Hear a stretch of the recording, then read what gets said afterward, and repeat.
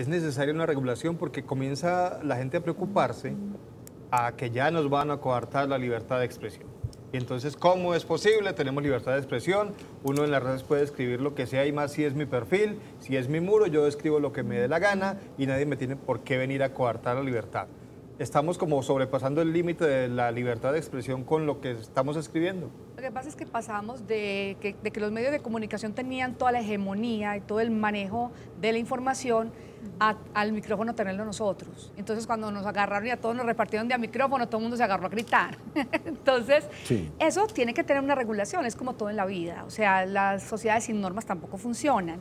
La gente cuando se sale de los grupos, es que esta me manda mucho y qué pereza, yo quiero estar libre, esos grupos terminan en una anarquía y terminan en, conflictos mucho más violentos y más tenaces que si hubiesen seguido la norma. Es como una...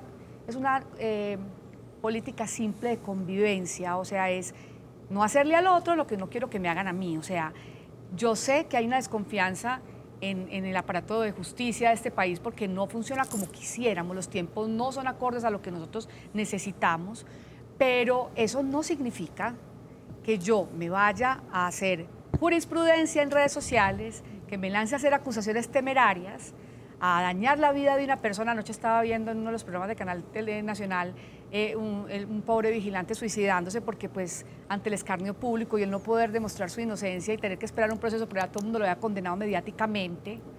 Entonces, esas personas que no tienen visibilidad, pues claro, eh, se sienten muy abrumadas.